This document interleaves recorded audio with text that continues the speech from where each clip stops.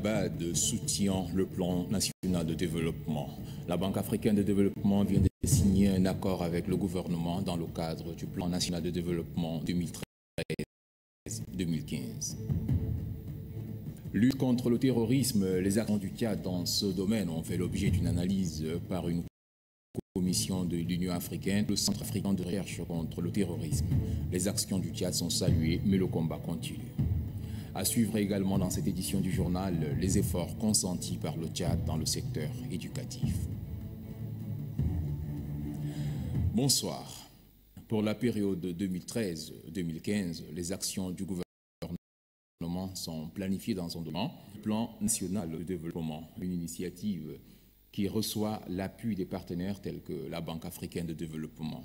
Cette banque vient d'octroyer des fonds au gouvernement tchadien. C'est à la faveur de la signature d'un accord de don. Mantar. La Banque africaine de développement et le Fonds africain de développement croient en la mise en œuvre du plan national de développement. Le PND, élaboré par le gouvernement du Tchad et appuyé par les partenaires, s'étale sur une période de trois ans et devrait permettre de réduire la pauvreté et de booster la croissance. La signature de cet L'accord de don de 375 millions de francs CFA illustre le soutien de ces deux incidents. Pour les entendants de la BAD, le PND est une approche qui mérite d'être appuyée. Avec le PND et la vision 2030 comme stratégie et vision prospective, bâtie sur un consensus national, le gouvernement du Tchad a dorénavant un instrument nécessaire pour coordonner et harmoniser aussi bien ses propres femmes et prenants que les interventions des partenaires techniques et financiers au Tchad. Les fonds octroyés vont permettre, entre autres, de renforcer les capacités techniques et communicationnelles de la générale d'économie qui est chargée de l'exécutif PND. La ministre de l'économie assure que cette entité s'efforcera d'être à la hauteur de la tâche. Notre département entend faire tout ce qui est à son pouvoir et mettre tout en œuvre pour réussir ces trois missions, à savoir promouvoir l'économie du Tchad, faire une bonne planification en vue de mettre en œuvre tous les projets. À noter que la coopération entre la Banque africaine de développement et le Tchad depuis 1974 s'illustre par des actions de développement. Il y aurait actuellement 16 projets de développement financiers le nouveau ministre des enseignements secondaires et de la formation professionnelle, Ahmad Razali Mohamed Assil, a pris fonction hier matin. La cérémonie de passation de service entre Abdelkarim Ahmada Barit et le ministre entrant a eu lieu en présence du ministre secrétaire général du gouvernement, Abdoulaye Fadul Savor. Les détails avec Noubadoumbaï Talomadi. Après 38 jours Passé à la tête du département des enseignements secondaires et de la formation professionnelle, Abdelkerim Ahmad Bakit passe le bâton de commandement à son successeur Ahmad Kazali Mahamad Achil. Abdelkerim Ahmad Bakit n'a pas manqué de prodiguer de conseils à son jeune frère. Pour lui, dans un département aussi sensible comme celui des enseignements secondaires et de la formation professionnelle, la collaboration des techniciens aguerris et détails souhaite que ce bénéficie d'un climat collabore pour éviter le naufrage du bateau. Le ministre entrant s'est dit conscient de l'ampleur de la tâche qui l'attend. Il promet mettre tout en œuvre pour que le système éducatif tchadien retrouve ses marques. La réforme, c'est la renaissance de l'école tchadienne, requiert l'engagement de tout un chacun de vous. Car il y va du redressement du système éducatif et de l'avenir de notre cher pays. Ahmad Kazali Mahamad Achil appelle à l'abnégation et à la détermination du personnel pour cette renaissance de l'école tchadienne. En marge de la 19e conférence des partis à la Convention cadre des Nations Unies sur le changement climatique, une réunion entre le gouvernement Et les pays membres de la PAC, c'était 19 au 25 novembre 2013 à Varsovie en Pologne. Pour le compte du Tchad, c'est le ministre de l'Environnement, par ailleurs président de la commission Bengar l'armée la guerre. Pour la mise en œuvre d'un centre de réception des images satellitaires dans la sous-région, l'Afrique centrale manque des technologies et des savoir-faire dans le domaine de la télégestion, de la réception et des traitements des images satellitaires. Le Brésil, un pays très avancé dans ce domaine, apporte son soutien aux pays membres de la Commission des forêts d'Afrique centrale. Bientôt, des stations de réception et d'analyse des images satellitaires seront installées dans chaque pays membre de la COMIFAC. Le Brésil envisage également la création d'un centre de formation régional et d'un autre centre d'observation. L'annonce a été faite au cours de la réunion qui s'est tenue en marge de la 19e conférence des partis à la Convention cadres des Nations Unies sur le changement climatique. Cette annonce est vivement saluée par le président en exercice de la Commission forêt d'Afrique, ministre de l'Environnement et de l'Halieutique, Mohamed Issa Halikimi. Celui-ci a remercié le gouvernement brésilien pour cette offre qui contribue au renforcement de la coopération et appelle les pays membres de la COMIFAC à s'approprier de cette initiative. Cet appui du gouvernement brésilien vient ainsi s'ajouter aux offres de l'Institut national de recherche spatiale qui œuvre déjà capacité des fonctionnaires des pays membres de la COMIFAC. Toutes nos excuses pour la qualité des images, vous l'avez compris, ce sont des images euh, amateurs. Le document stratégique de programmation du Fonds spécial en faveur de l'environnement a l'objet d'une adoptée par le cadre de cette institution mise en place en 2012. Kadnouba Théophile. Initié par les plus hautes autorités en date du août 1998, le Fonds spécial en faveur de l'environnement est un outil financier chargé d'appuyer la mise en œuvre de la politique du gouvernement en matière d'environnement. L'objectif de cet instrument est de mobiliser des ressources pour financer les projets, les recherches, la formation appliquée à l'environnement et le financement des opérations pilotes. Rendu opérationnel en février 2012, cet instrument est mis en œuvre dans sa version provisoire. Pour atteindre les objectifs assignés à cet outil, la direction générale juge important de passer les différents points au pain fin. Dans le même siège, le secrétaire général adjoint du ministère de l'Environnement précise l'importance de cet outil qui constitue la pierre angulaire dans le processus de la valorisation de l'environnement. Le fonds est appelé à nouer des relations, à développer des partenariats solides surtout avec les partenaires techniques et financiers à l'échelle internationale. C'est une mission très lourde qui nécessite que le Fonds spécial en faveur de l'environnement fonctionne suivant les règles de l'orthodoxie financière et procédures de la transparence. chargé de mise en valeur de l'environnement réunit les cadres techniques du ministère de l'Environnement, de la capitale et ceux des provinces. Un autre volet de l'actualité.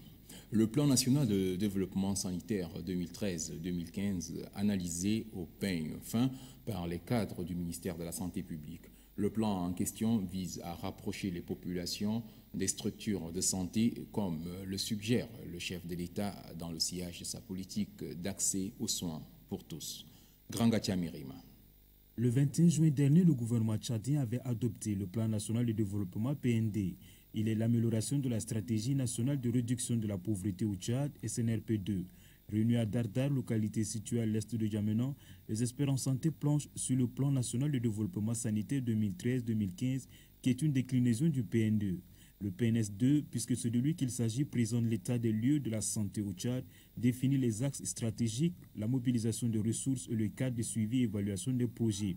Bien évidemment, une partie importante est accordée à la prestation des services de santé, la bonne gouvernance et l'information sanitaire. Le PNS2 prévoit également le financement des opérations sanitaires au Tchad et l'approvisionnement en médicaments réactifs consommables médicaux et vaccins pour lutter contre les épidémies sur toute l'étendue du territoire national. L'ambassadeur de la République populaire de Chine auprès de la République du Tchad a remis officiellement hier matin un don de médicaments antipaludiques un don d'un montant de 340 millions de nos francs. C'est le secrétaire général du ministère de la Santé publique qui a réceptionné les médicaments antipaludiques à la centrale pharmaceutique d'achat. Estelle Abdelkader. La centrale pharmaceutique d'achat vient de bénéficier d'un important lot de médicaments antipaludiques. Il s'agit des ampoules injectables et des comprimés artéméter et artesunate. Pour l'ambassadeur de la République populaire de Chine auprès de la République du Tchad, ce geste vient renforcer la coopération entre les deux pays amis. Le secrétaire général du ministère de la Santé publique se félicite pour sa part du geste louable de la Chine envers le peuple tchadien. C'est donc cadre bien avec notre politique nationale de lutte contre le paludisme qui a intégré dans son protocole de prise en charge les combinaisons thérapeutiques. Mambat Nourouadak rassure les donateurs que les médicaments réceptionnés seront utilisés rationnellement afin de lutter efficacement contre le paludisme. Restons toujours dans le domaine de la santé. Au village Tikali, les autorités administratives du Mayokibi Est ont procédé au lancement de la dernière campagne de vaccination contre la poliomyélite.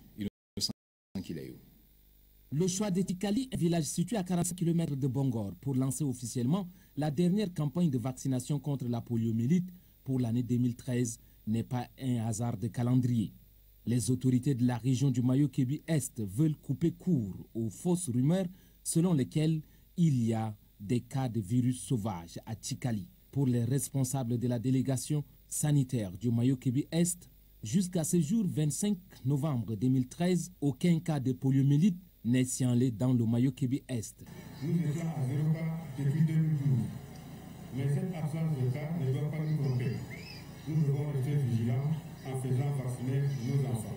Le gouverneur de la région du Mayo-Kébi Est, qui a donné le coup d'envoi de la dernière campagne de vaccination pour l'année 2013, invite toute la population de sa région à faire vacciner les enfants concernés. Population de Chikali et au-delà celle du district de Bongor, mobilisez-vous sans préjugés et sans arrière-pensée pour faire vacciner vos enfants car la contamination du poliovirus est évitable et véritable avec le vaccin.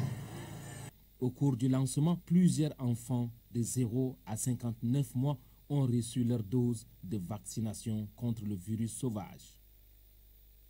Signature hier à l'ambassade de France d'une convention de financement entre l'Association nationale des communes du Tchad et l'ambassade de France pour la mise en place d'un fonds de développement local.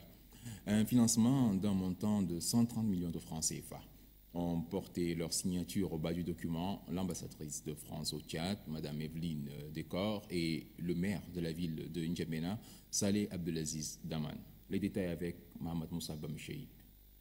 Avec la signature de cette convention de financement, l'Association nationale des communes du Tchad va essayer de surmonter les obstacles. Le fonds obtenu permettra de renforcer les capacités des maires de 42 communes du pays et d'offrir un cadre favorable au développement socio-économique. Aussi va-t-il contribuer à lutter contre la pauvreté. Le maire de la ville de N'Djamena représentant l'Association nationale des communes du Tchad, Saleh Abdelaziz Daman, se félicite de ce geste de la France qu'il qualifie de positif. La France était à nos côtés pour euh, résoudre euh, le problème des communes dans le cadre de, de, formation, dans le cadre partenariat.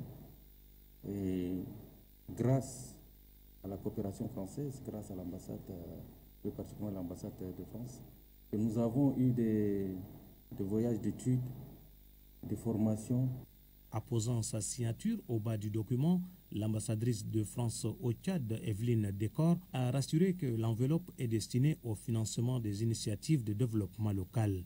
Ce fonds se propose de financer des micro-projets de promotion des économies locales par le biais d'un appel à proposition. Les mairies, en tandem avec une association présente dans leur commune, pourront proposer un micro-projet de promotion de l'économie locale pour un montant ne dépassant pas 20 000 euros par projet il est nécessaire, selon la diplomate française, de résoudre les insuffisances et mettre la décentralisation au service du développement local. Une délégation du ministère de l'aménagement du territoire, de la décentralisation et des libertés locales, composée euh, du staff de projet d'appui au développement local, a procédé à la remise des clés des salles de classe. Euh, des salles de classe. Il s'agit des bâtiments devant abriter euh, des écoles dans le canton Nielim et, à Danamadi. Euh, ces réalisations ont coûté environ 78 millions de francs CFA. Noubatumba Italomadi. C'est à Nilm, une localité située à 138 km de Sark, la délégation du ministère de l'Aménagement du territoire, de la décentralisation et des libertés locales a entamé sa mission de réception des bâtiments scolaires conçus par Poardel 2 avec l'appui des partenaires. En visitant cette infrastructure scolaire, la délégation a apprécié la qualité technique des travaux réalisés. La cérémonie de remise des clés a eu lieu entre le coordonnateur du projet d'appui au développement local, le secrétaire général du ministère de l'Aménagement, de la décentralisation et des libertés locales, Ali Omar Seyd, et le chef de canton de Nielem, Mokhtar Kerim. Je vous remercie, monsieur le chef de canton. Le coordonnateur du PROADEL 2 n'a pas manqué de rappeler l'importance de cette réalisation. Je voudrais simplement euh, vous dire que le PROADEL est un instrument du gouvernement qui peut aller loin, aller dans les coins reculés et faire des réalisations dans le cadre du quinquennat du chef de l'État. Le chef de canton de Nilem a, au nom de sa communauté, remercié les plus hautes autorités pour cette réalisation. La délégation s'est rendue à Danamadje. Le secrétaire général adjoint du ministère de l'Aménagement du territoire, de la décentralisation et des libertés locales, Ali Oumar Seyd, a remis la clé de ces joyaux architectural construits par le projet d'appui au développement local aux représentants du maire. Sans l'éducation, il n'y a pas un développement durable. Si tout va bien, avec l'appui du gouvernement tchadien, vous serez tous dans les maisons en dur. Les bénéficiaires se disent comblés par cette réalisation car elle vient décongestionner la pléthore des élèves dans les salles des classes. Ils ont aussi remercié les plus hautes autorités d'avoir investi dans un secteur prioritaire. Lutte contre le terrorisme. La commission en charge de cette question au niveau de l'Union africaine et le Centre africain de recherche contre le terrorisme évaluent les efforts du Tchad dans la mise en application du plan d'action africain de lutte contre le terrorisme. Le Tchad, de par sa position géographique, joue un rôle dans la lutte contre le terrorisme. Organe technique de la Commission de l'Union africaine en charge de fournir l'expertise sur toutes les questions rattachant à prévention de la lutte contre le terrorisme en Afrique, le Centre africain d'études et de recherche sur le terrorisme procède à l'évaluation de ses activités concernant le Tchad. Son mandat lui prescrit d'aider les États membres à la pleine application des conventions internationales et continentales de lutte contre le terrorisme et d'œuvrer au renforcement des capacités des États à traiter toutes les questions relatives à la prévention de lutte contre le terrorisme. Selon l'ambassadeur, représentant spécial de la présidente de l'Union africaine pour la coopération antiterroriste, Francisco Radeva, il a été noté quelques inadéquations entre les besoins réels des États et l'assistance technique proposée ou fournie entre le mandat et le statut du point focal et bien d'autres inadéquations. Sa mission se propose de se faire une idée nette du niveau de mise en œuvre du plan d'action 2012 de l'Union africaine par le Tchad. Pour la secrétaire aux affaires étrangères, le Tchad œuvre inlassablement pour la paix, la sécurité et recherche constamment les moyens efficaces de lutte contre les nouvelles menaces dans le monde. La réunion du Centre africain d'études et de recherche sur le terrorisme CART, qui est une institution de la Commission de l'Union africaine et du Conseil de paix et de sécurité de l'Union africaine, dont la mission est de coordonner les efforts des États membres en vue de lutter efficacement contre les pires formes de menaces à la paix connue de nos jours et dont le terrorisme est l'expression par excellence nous commande à porter tout notre soutien. Se basant sur la déclaration du chef de l'État au cours de la 68e session de l'Assemblée générale des Nations unies, Kare Isabelle reconnaît que le terrorisme n'a pas de frontières. Afin de le combattre efficacement, il exige une solidarité entre les pays et les hommes, un partage d'informations entre les États et institutions régionales ou internationales. Les fils et filles de la région du Moyen-Chari géographique se sont rendus ce soir à la diocèse de Kabalai pour présenter leur doléance à la communauté catholique suite à la disparition de Monseigneur Mathias Carteri Mayadi. Noubatiophile. du ils sont une vingtaine à venir présenter un hommage particulier au feu Monseigneur Mathias Trimadi, survenu le 19 novembre dernier au cours d'une évacuation sanitaire vers la France. Ces filles et fils du Chari, conduits par le ministre de l'Urbanisme, de l'Habitat, du Domaine et des Affaires foncières Gatangoulou, ont également présenté leurs condoléances à la communauté catholique de la paroisse de Kabalaï. Occasion pour le chef de la délégation d'exprimer sa compassion et celle de son équipe à la famille et aux proches du défunt. Pour ceci, Monseigneur Mathias Ngarteri Mayadi est le vrai berger qui a su conduire sa communauté dans sa foi et œuvrer pour la cohésion pacifique et l'entente mutuelle entre les différentes communautés religieuses. Monseigneur Ngarteri est Chari. il a connu la religion dans cette région et à gravir tous les échelons de cette hiérarchie, il a apporté beaucoup à la paix, à la réunion de toutes les religions autour de son Excellence, Monsieur le Président de la République, pour que euh, ce pays puisse consolider celle-ci. La veille funèbre du défunt Monseigneur Mathias Ngarteri Mayadi a lieu ce soir au sein de la paroisse de Kabalaï et l'inhumation est prévue pour l'après-midi de 28 novembre 2013 au Grand Séminaire de Baka. Mais avant cela, la cérémonie officielle des obsèques est prévue le matin à la place de la Nation.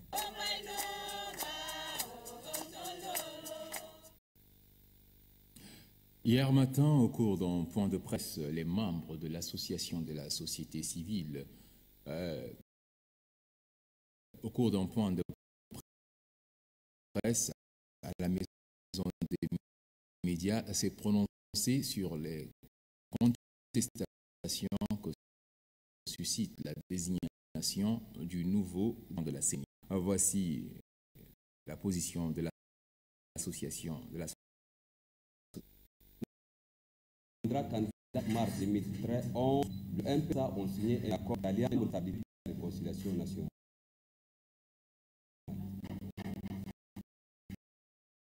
Aujourd'hui,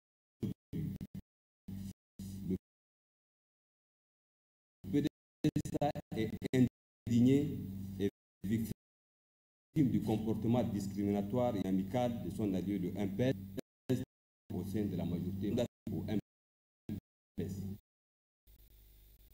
Prélude à la célébration de la fête de la démocratie, propose de faire le point sur les réalisations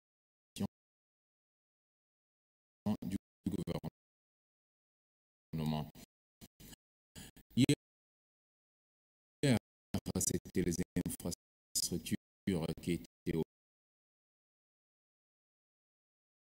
au menu du journal. Ce soir, les réalisations de domaine du secteur de l'éducation et de. Depuis le retour de la paix dans le pays, le secteur de l'éducation a connu une évolution positive parce que le financement même a augmenté. Nous avions avant euh, 10% du budget général de l'État seulement qui était consacré à l'éducation. Mais les hautes autorités ont pris l'initiative de faire passer de 10% à 14% hein, le financement du secteur de l'éducation, dont l'éducation des adultes que nous dirigeons. Euh, l'éducation des adultes, vous savez, il y a 78% de taux d'analphabétisme Tchad. Et on ne peut pas développer un pays avec un taux si faramineux. Et grâce euh, à la stratégie intérimaire pour l'éducation et l'alphabétisation, des partenaires externes se sont joints au gouvernement pour que nous puissions euh, développer l'éducation sous toutes ses formes. L'éducation des jeunes hein, qui sont dans la rue, l'éducation des adultes et l'éducation d'une manière et ça, c'est une évolution positive dans le secteur de l'éducation en général et dans celui de l'alphabétisation et de la promotion de la langue nationale en particulier. Le système éducatif tchadien est calqué sur les valeurs socio-éducatives de base. Et pour la transvaleur authentique, l'État s'est doté d'un centre national de curricula. Le centre national de curricula participe également à la promotion du bilinguisme à travers et l'édition des manuels scolaires en art. La mission essentielle de ce système, l'élaboration, la conception et expérimentation des manuels scolaires. En plus de ça, nous avons d'autres missions, c'est-à-dire des, des, formations des de professeurs de l'école et le programme scolaire. Donc, c'est les trois missions essentielles pour le Centre national de curricula pour pouvoir aider le ministère de, de, de, l'enseignement fondamental et de l'alphabétisation dans le sens de forme de système éducatif, c'est-à-dire euh, appliquer l'augmentation des de, généraux de l'éducation et la forme d'éducation euh, en 2012. Euh, à partir de 2012, l'école et les élèves vont avoir des livres, c'est-à-dire des manuels scolaires on l'appelle ici Made in Chat.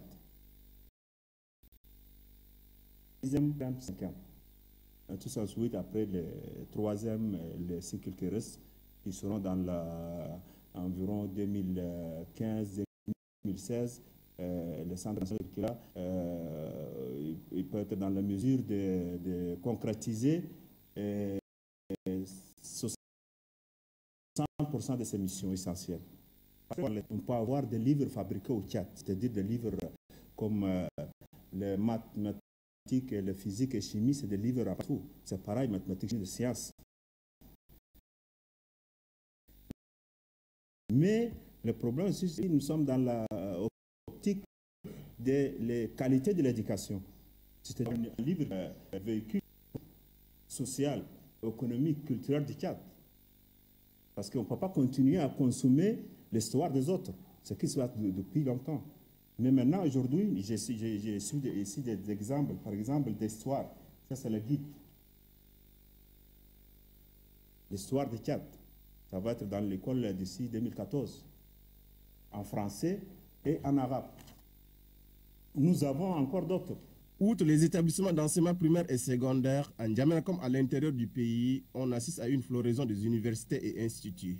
Dans le cadre du programme du chef de l'État, des moyens conséquents ont été mis pour développer l'enseignement supérieur. Je voudrais simplement citer un exemple, euh, la, construction, la finalisation de Toukra 1, hein, qui est donc la construction du, site, de Toukra, avec deux facultés qui sont déjà délocalisées sur place. Vous avez le restaurant universitaire hyper moderne qui est euh, fonctionnel. Euh, vous avez la construction de l'université de Mondou, hein, celle de Mongo aussi. Donc nous avons un, euh, un, grand chantier en ce moment en cours. Pratiquement l'enseignement supérieur est en chantier et beaucoup de choses ont été faites. Vous avez aussi annoncé que le plan triennal pour la formation des formateurs a été enclenché. Et nous avons à ce jour donc, envoyé pour la seule année, euh, pour la seule année, euh, pratiquement envoyé déjà 150 enseignants en formation. Donc c'est pour le renforcement des capacités. J'allais oublier donc dans la construction, nous avons l'université de Doba qui a été entièrement construite et qui est en ce moment fonctionnelle. donc nous avons un certain nombre de choses qui ont été réalisées et l'enseignement supérieur a du vent en poupe. En ce moment, je veux dire que tout est sous le chantier et tout est en train de bien se passer. Et donc nous avons une prévision au bout de ce plan triennal d'avoir euh, la formation d'environ 700 enseignants qui seront redéployés dans l'ensemble des instituts et universités euh, sur l'ensemble du territoire. Au-delà de ces vastes et ambitieux programmes, d'autres projets sont en cours de réalisation. Donc il y a d'autres projets qui ont été déjà qui sont en étude et qui vont voir leur réalisation en 2014. C'est notamment la création de l'université ou l'institut d'enseignement supérieur à, à Pala et euh, une université en plein qui sont en prévision. Nous entendons dans le cadre de l'extension de, la continuité du chantier de Toukra, finaliser la construction donc, des, cités universitaires pour permettre à une partie des parties étudiantes, le, le, ministère de l'enseignement supérieur euh, a aussi l'autre volet important qui est la recherche.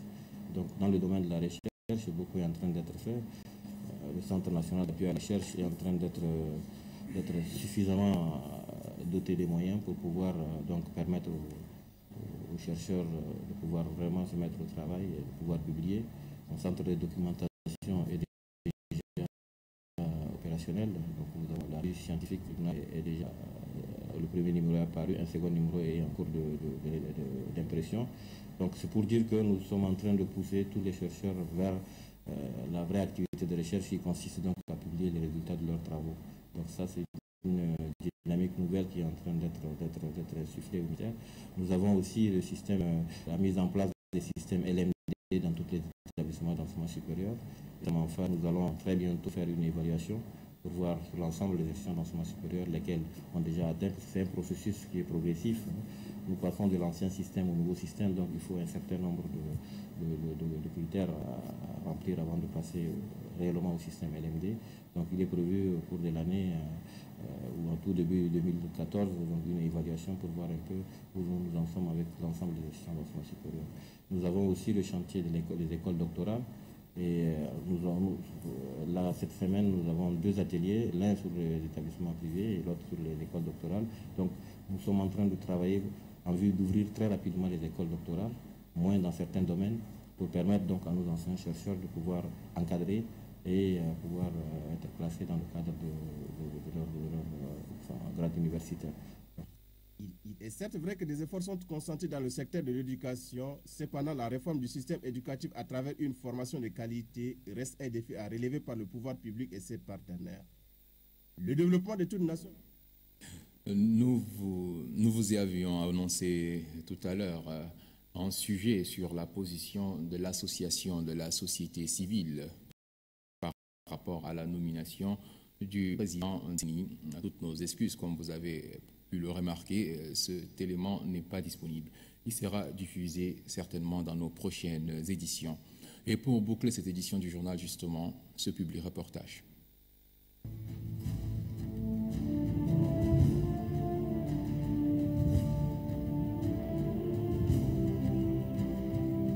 L'école publique de Zaraf, située dans le premier arrondissement de la commune de N'Djamena, est l'une des plus anciennes de la localité de Farcha.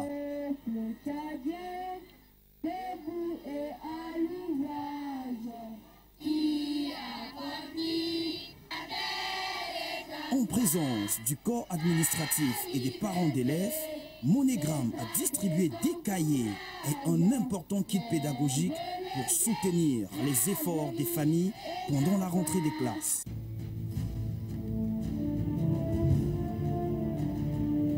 Nous sommes très contents, vous voyez, j'ai des dents dehors, ça pour mon émotion. C'est une grande joie pour nous.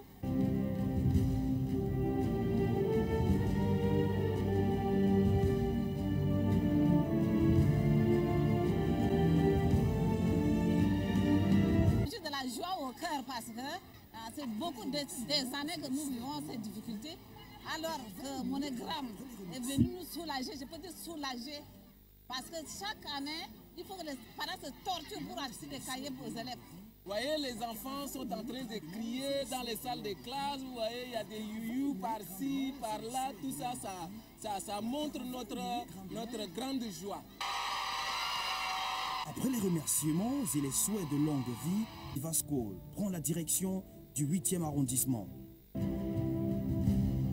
SOS Village d'enfants, situé en Djari, quartier sud du 8e arrondissement, fait partie des écoles de 130 pays de la fondation SOS Kinderdorf International. C'est dans une ambiance riche en émotions que Monogramme Vivascol a remis des cahiers aux élèves et un important kit pédagogique pour soutenir les efforts de la Fondation. Je voudrais vraiment remercier Monogramme pour l'acte euh, qu'il vient de poser. Euh, ça va dans le sens euh, de l'effort du gouvernement. Merci Monogramme. On est content de recevoir le cahier monogramme. Vive l'école SOS. Aujourd'hui ici là, on a, on a trouvé de beaux cahiers, jolis, jolis comme ça avec de très beaux dessins aussi. Oui, c'est la vérité. Merci. C'est sous des cris de joie que la caravane Monogramme a pris la route de Chabois.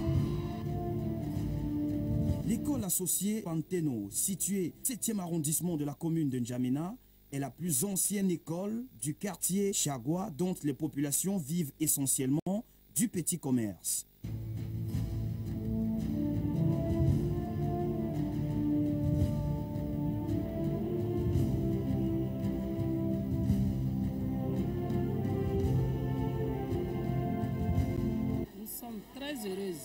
Très ravie vraiment que vous ayez pensé à nous en venant dans notre école donner les matériels aux enfants.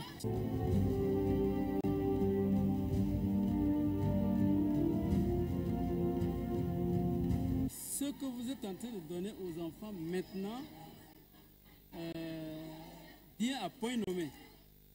Parce que le problème de fourniture se pose cruellement à la rentrée à chaque fois que les parents doivent chercher des fournitures et puis les, donner aux enfants. De l'enseignement de base. Aujourd'hui, nous vous remercions beaucoup, Monogramme, parce que c'est dans les locaux de la Poste, comme premier partenaire de Monogramme,